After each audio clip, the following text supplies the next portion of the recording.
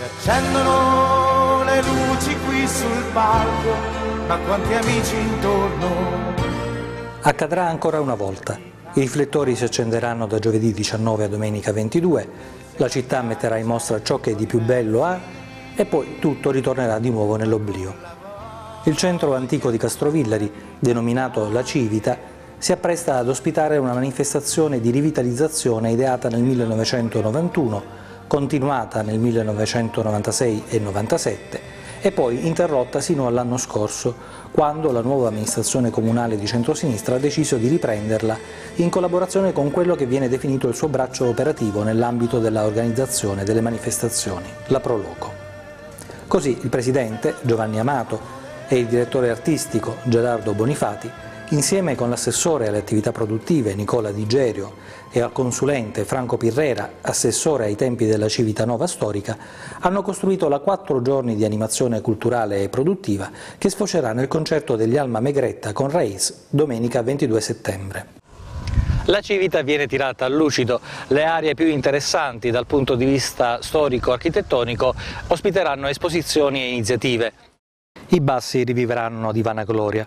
Anche il rinnovato Vescovado, dove ha perso la vita sabato un addetto alle pulizie colpito da un malore, risuonerà di voci contemporanee.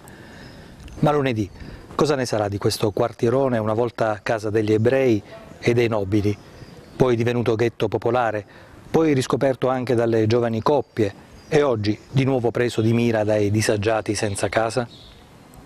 Cosa ne sarà dei vicoli abbandonati alla sporcizia e poco illuminati, delle auto che invadono i monumenti, delle case occupate, di quelle abbandonate e cadenti, seppure monumenti nazionali, e della piscina anfiteatro che ha distrutto la piazzetta che di Civitanova aveva preso il nome.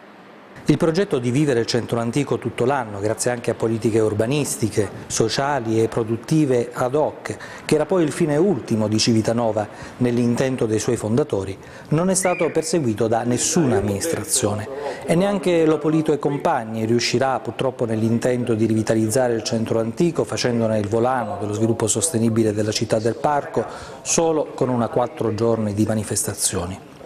I riflettori si accenderanno, la manifestazione avrà successo, il brand è consolidato, ha un'ottima reputazione.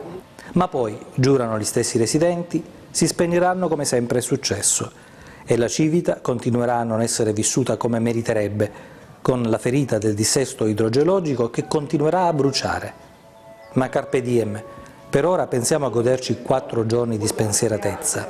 Di problemi da risolvere la città ne ha tanti e la Civita, come sempre, può aspettare.